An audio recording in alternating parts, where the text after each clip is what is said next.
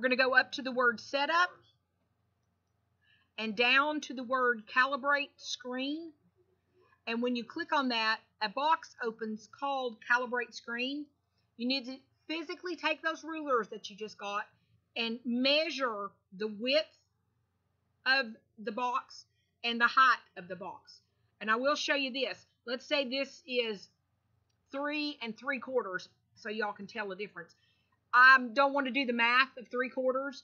I can actually type three and then space and three divided by four and tab and it will convert the division. It only does division though. I've tried plus and times and all that. If you can do it, if you want to do it in millimeters, if you measure your thing in millimeters, you just to type three whatever mm and it'll convert that as well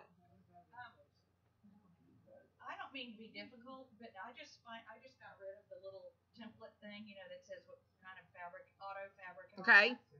And now my menu up up top, it won't let me do anything. It just says file and help, and I can't click. I mean, I can only click on that. There's no edit. There's no.